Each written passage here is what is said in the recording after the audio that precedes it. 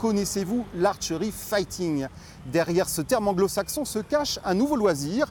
La première salle des Alpes-Maritimes vient d'ouvrir à Nice. Un arc, des flèches avec des embouts en mousse.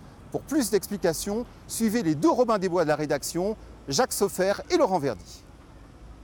Le casque de sécurité, toujours sur la tête pendant les, combats, Ensuite, je vais vous donner les protections d'avant-bras euh, pour pas que la corde vienne vous frotter si jamais vous, euh, vous tenez l'arc un peu bizarrement. Bien équipés, les joueurs ressemblent à des abeilles dans un jeu qui ne manque pas de piquant. Oh, ça permet, je dirais que c'est une espèce de défouloir. L'arme, un arc avec une flèche en carbone dont le bout est en mousse.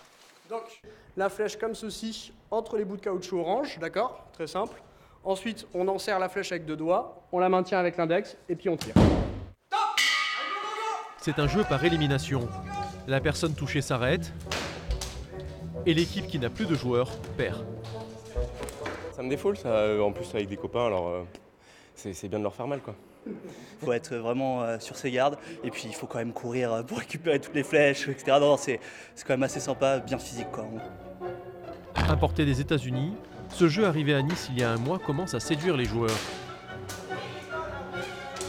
Ça fait mal. Alors, on sent un petit peu passer la flèche. Euh, encore une fois, ça dépend avec qui on joue. Mais voilà, c'est une activité qui reste très bon enfant. Euh, on a des familles qui viennent jouer euh, et il n'y a pas de souci. Comptez 15 euros par personne la demi-heure pour devenir un futur Guillaume Tell ou Robin des Bois.